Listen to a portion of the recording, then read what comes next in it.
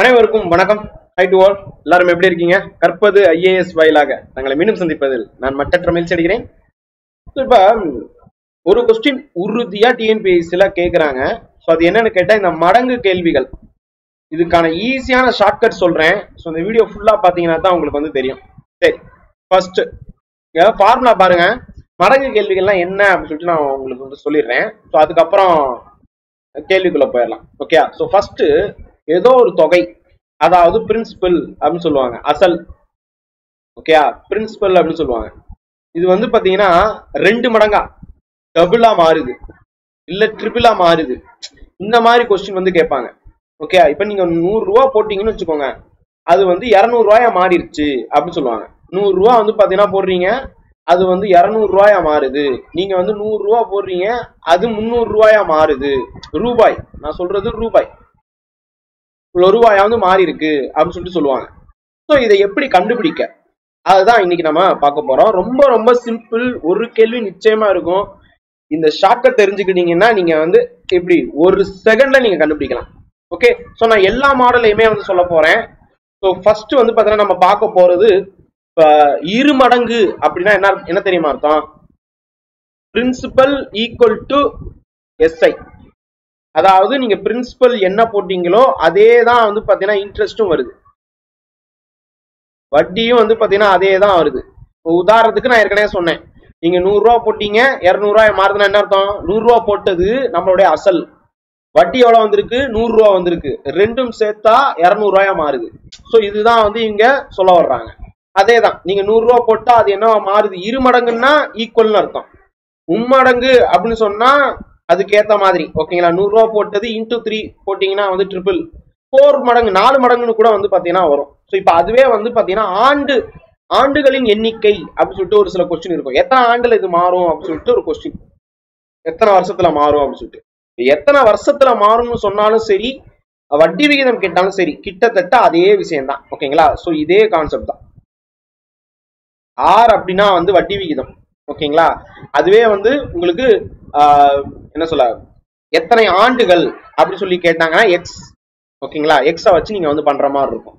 Same ஆண்டுகள் அப்படின்னு சொன்னா எக்ஸ் ரேட் ஆஃப் இன்ட்ரெஸ்ட்னு கேட்டா ஆர் இப்போ நான் இங்க ரேட் ஆஃப் இன்ட்ரெஸ்ட்டை வச்சு நான் சொல்லியிருக்கேன். டபுள் இரு மடங்குன்னு சொன்னா நீங்க வந்து இந்த நூறு பை எக்ஸ் அப்படின்னு பண்ணணும். மூணு மடங்கு அப்படின்னு சொன்னா இரநூறு பை எக்ஸ்னு பண்ணணும். மூணு மடங்குன்னு சொன்னா இரநூறு பை எக்ஸ் டபுள் இரு மடங்குன்னு சொன்னா நூறு பை எக்ஸ் இப்ப நாலு மடங்குன்னு கொஸ்டின் கேட்கறாங்கன்னு வச்சுக்கோங்க. நாலு மடங்குனா நீங்க வந்து இங்க பாருங்க ஆறு தான் நான் வச்சிருக்கேன் ரேட் ஆஃப் இன்ட்ரெஸ்ட் நூறு பை எக்ஸ் தான் போட்டுக்கணும். அதுக்கு முன்னாடி வந்து பாத்தீங்கன்னா என் கொடுத்துருப்பாங்க டைம்ஸ் ஓகேயா? என் கொடுத்துருப்பாங்க. அது மைனஸ் ஒன் பண்ணீங்கன்னா போதும். அவ்வளவுதான். ஓகேங்களா? மைனஸ் ஒன் இப்போ ஆண்டுகள் எத்தனை கொடுத்துருக்காங்களோ அதுல ஒன்னை குறை குறைச்சிக்கிட்டு இன்ட்டு நூறு பை எக்ஸ் பண்ணீங்கன்னா உங்களுக்கு ஆன்சர் வந்துடும் இப்போ நான் சொல்றதுக்கு உங்களுக்கு வந்து புரியாது.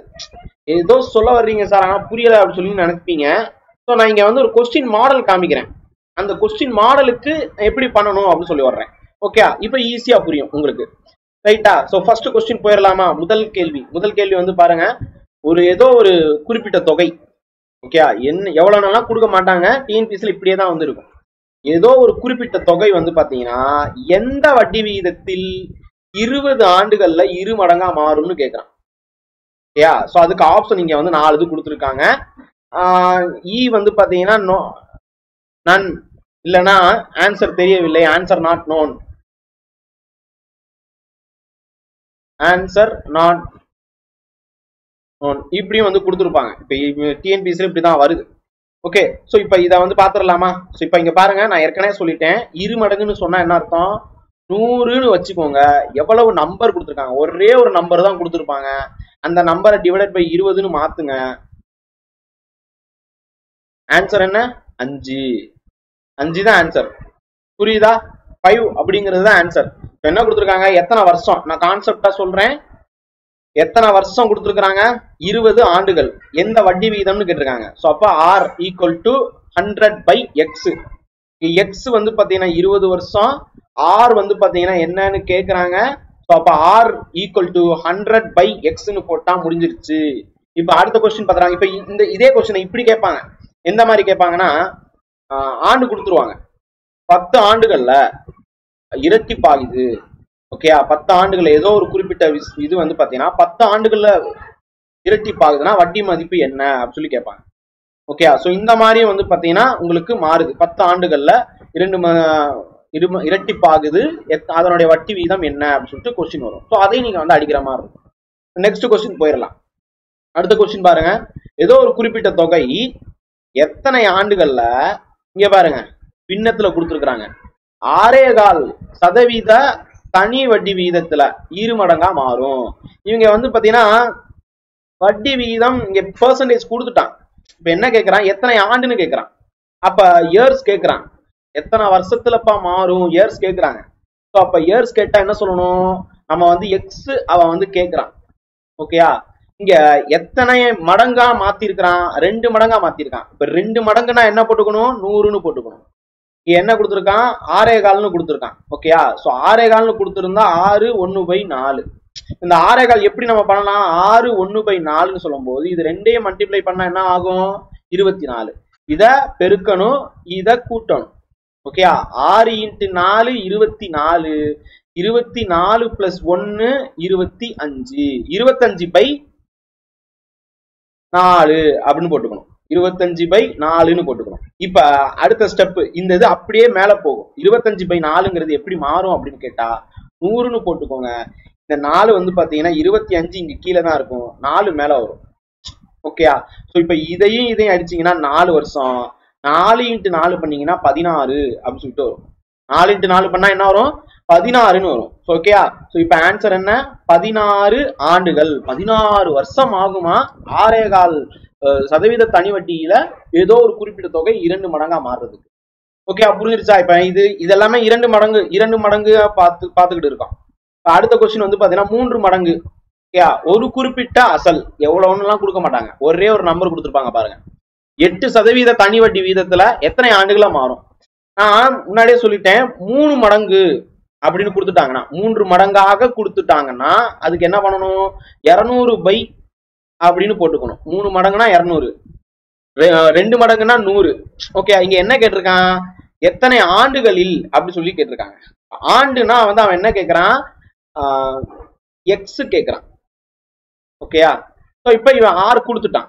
ஸோ அப்போ நீங்கள் எக்ஸ் ஆர் அதெல்லாம் கன்ஃபியூஸ் பண்ணிக்காதீங்க. ஒரே ஒரு நம்பர் கொடுத்துருப்பான். மூன்று மடங்கு நான் இரநூறு நூறு மடங்கு அதாவது இரண்டு மடங்குனா நூறு. அவ்வளோதான் அவ்வளோதான் மேட்டர் எவ்வளோ நம்பர் கொடுத்துருக்காங்களோ அதால் நீங்கள் வந்து டிவைட் பண்ணுங்க முடிஞ்சிருச்சு எட்டு. இந்த எட்டை நீங்கள் வந்து பார்த்தீங்கன்னா வகுத்தீங்கன்னா என்ன ஆகும்? எயிட் டு டூ சார் வருமா? இப்போ நாலுனா வந்து இருபத்தஞ்சுன்னு வரும். நாலுனா இருபத்தி நூறுக்கு இருபத்தஞ்சு எட்டுன்னா இருபத்தஞ்சு. ஓகே ஸோ இப்போ ஆன்சர் வந்து பார்த்தீங்கன்னா பி இருபத்தி அஞ்சு. யா டூ சார் இங்கிட்ட வந்து ஃபோர் மாறிடும் ஃபைவ் ஓகே இப்போ அடுத்த கணக்கு பாருங்க. திருப்பி அதே மாதிரி தான் இன்னொரு மாடல்ல வந்து கொடுக்குறேன். ஸோ இங்க என்ன கொடுத்துருக்குறாங்க? ஒரு குறிப்பிட்ட அசலானது. பதினஞ்சு வருஷத்துல நல்லா கவனிங்க. இதுக்கு முன்னாடி மெத்தட்ல வந்து பாத்தீங்கன்னா எட்டு சதவீதம்னு கொடுத்துருக்குறாங்க. மூணு மடங்கா மாறும்னு கேட்டிருக்காங்க. எத்தனை ஆண்டுன்னு சொல்லி இங்க ஆண்டு கொடுத்துட்டாங்க.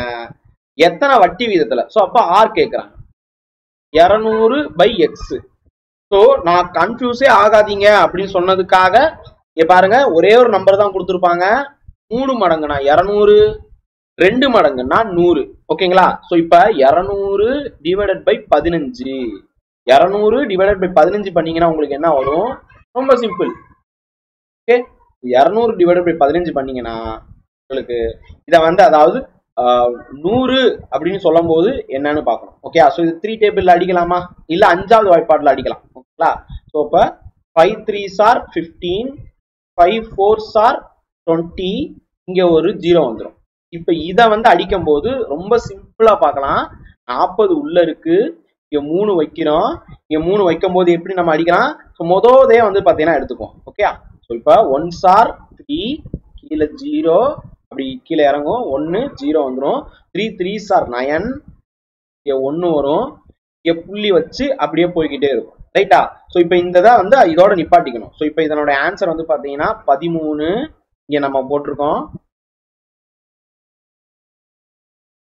இந்த மூணு வந்து பார்த்தீங்கன்னா கீழே வந்துடும் இந்த ஒன்று மேலே போயிடும் ஓகே ஸோ இப்போ பதிமூணு ஒன்று பை மூணு. ஸோ அப்போ ஆப்ஷன் பி இந்த பர்சன்டேஜ் அவ்வளோதான் ரொம்ப சிம்பிள் வேற எதுவுமே கிடையாது. சரியா? சோ இப்ப அடுத்த கொஸ்டின் பாருங்க. இதே மாதிரி தான் நான் கொடுத்துருக்கேன். ஆனா நான்கு மடங்கு அப்படின்னு சொல்லிட்டு கொடுத்துருக்கோம். எவ்வளவு கேட்கறாங்க நாலு மடங்கு. மோஸ்ட்லி இந்த நாலு மடங்கு கொஸ்டின் வராது. பட் வந்தாலும் பயப்பட தேவையில்ல. ரொம்ப சிம்பிள் வராதுன்னு சொல்லிட்டேன். அப்புறம் ஏன் எதிர்பார்க்குறீங்கன்னு கேட்காதீங்க. மோஸ்ட்லி இது வரைக்கும் வந்தது இல்ல வந்தாலும் பயப்பட தேவையில்ல. நீங்க என்ன கேட்டிருக்காங்க? ஒரு குறிப்பிட்ட அசலானது பதினஞ்சு ஆண்டுகள்ல நான்கு மடங்கா மாறுது. நல்லா கவனிங்க. கன்ஃபியூஸ் பண்ணணுங்கிறதுக்காகத்தான் இங்க நாலுங்கிற இன்னொரு நம்பர் கொடுத்துருக்கேன். இதுக்கு முன்னாடி இதுல எல்லாம் மூன்று மடங்கு மூன்று. நான் நம்பர் கொடுக்காம இருப்பேன். இரண்டு. அப்படின்னு வந்து இருக்கும். ஓகேயா இப்ப இங்க வந்து பாத்தீங்கன்னா உங்களுக்கு நாலுனே கொடுத்துருக்கேன். நான்கு அப்படின்னு கொடுக்காம நான் நாலுனே கொடுத்துருக்கேன். இது வந்து கன்ஃபியூஸ் பண்றதுக்காகத்தான் நான் வந்து கொடுத்துருக்கேன். ஓகேயா சோ இப்ப இது எப்படி வந்து பண்ணலாம் அப்படின்னு சொல்லி சொல்லிடுறேன். பதினஞ்சு ஆண்டுகள்ல நாலு மடங்கா மாறணும்னா எவ்வளவு வட்டி விகிதம் அப்படின்னு கேட்டிருக்காங்க. இதுக்கு நான் ஆரம்பத்துல ஒரு ஃபார்முலா சொன்னேன்னா ஆர் போட்டுக்கோங்க. இங்க வட்டி விகிதம் தான் கேட்டிருக்காங்க. அதனால ஆர் அப்படின்னு சொல்லி போட்டுக்கிறேன். கீழே எக்ஸ் ஓகேயா எக்ஸ் அப்படின்னு சொல்லிட்டு வச்சுக்கிறேன். இங்க எத்தனை மட அதாவது வட்டி விகிதம் உடைய மதிப்பு நம்ம வந்து கண்டுபிடிக்கிறோம். கீழே வந்து பாத்தீங்கன்னா எக்ஸ்னு போட்டுக்கிறோம். இங்க வந்து பாத்தீங்கன்னா மேல நூறுன்னு போட்டுக்கிறோம். இங்க எத்தனை மடங்குன்னு கேட்டிருக்கான். ஓகேயா அப்ப T minus one okay so இங்க டீன்னு கூட போட வேணாம். நான் டைம்ஸ் அப்படிங்கிறதுக்கு தான் மடங்குன்னு போட்டிருக்கேன். நம்ம தமிழ்ல கூட மடங்கு மைனஸ் ஒன்னு அப்படின்னு நான் வந்து சொல்றேன். ஓகேயா எத்தனை மடங்கு இப்ப எக்ஸ் அப்படின்னு சொல்லும் போது இங்க என்ன கொடுத்துருக்காங்க? பதினஞ்சு. இன்ட்டு நூறு. அதானங்க? பதினஞ்சு மேல நூறு அப்படியே எப்பயுமே இருக்கிறது நம்ம போட்டாச்சு. மடங்கு நாலுன்னு கொடுத்துருக்காங்களா? இத நான்கு மைனஸ் ஒன்னு பண்ணீங்கன்னா மூணு இன்ட்டு நூறு டிவைடட் பை பதினஞ்சு. இப்ப மூணு இன்ட்டு அப்படின்னு சொல்லும் போது இந்த மூணையும் பதினஞ்சையும் அடிக்கலாமா? ஒன் சார் ஃபைவ் சார் ஓகேயா ஸோ இப்போ இதை ரெண்டே அடிக்கலாமா? இரண்டு சைபர் ஸோ அப்ப இருபதுன்னு வருமா? இருபது சதவீதம். அப்ப ஆன்சர் என்ன? இருபது. அவ்வளவுதான் முடிஞ்சிருச்சு.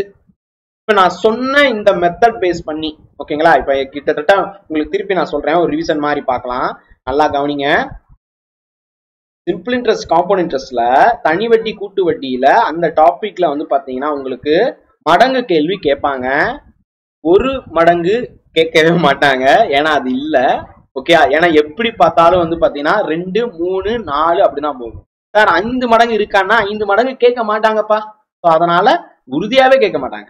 டிஎன்பிஎஸ்சி பொறுத்த வரைக்கும் ரெண்டு மடங்கு இல்லைன்னா மூன்று மடங்கு தான் தொண்ணூத்தி ஒன்பது சதவீதம் கேட்பாங்க. ஒரு சதவீதத்துல எப்படியாவது நாலு மடங்கு கேட்டாலும் நம்ம பிள்ளைங்க வந்து அடிக்கணும் அப்படிங்கிறதுக்காக தான் இதை சொல்லியிருக்கேன். ஓகேயா ரெண்டு மடங்குன்னு கேட்டா நூறு டிவைடட் பை என்ன கொஸ்டின்ல கொடுத்துருக்காங்களோ அதால வகுக்கணும். மூணு மடங்குன்னு கொடுத்தா இரநூறு டிவைட் பை எக்ஸ்னு சொல்லணும். நாலு மடங்குனா இந்த ஃபார்முலாவை வந்து பார்த்தீங்கன்னா நீங்க யூஸ் பண்ணணும். ஓகே ஸோ இதை பேஸ் பண்ணி நம்ம வந்து ஒரு சம் பார்த்தோம். அதாவது ஒவ்வொரு மாடல்ல ஒரு sum okay one two three four five இந்த அஞ்சு சம் தான் நம்ம வந்து பார்த்துருக்கோம். இந்த அஞ்சு சம் பேஸ் பண்ணி ஒரு கொஸ்டின் கண்டிப்பாக கேட்பாங்க. இந்த வீடியோ பிடிச்சிருக்கா? ரொம்ப மெதுவா ஈஸியா உங்களுக்கு புரியுற மாதிரி சொல்லி கொடுத்துருக்கேன். பிடிச்சிருக்குன்னா மற்றவங்களுக்கு ஷேர் பண்ணுங்க லைக் பண்ணுங்க. நன்றி வணக்கம். Thank you.